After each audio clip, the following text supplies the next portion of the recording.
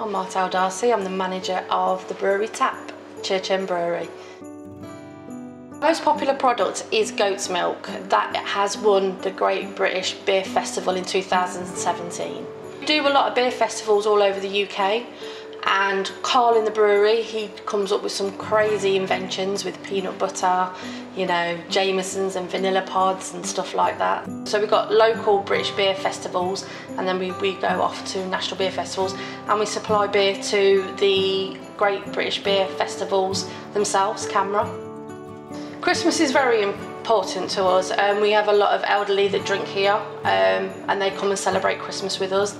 It saves them being stayed at home basically um, and they enjoy the company that they have up here and they also love the beer.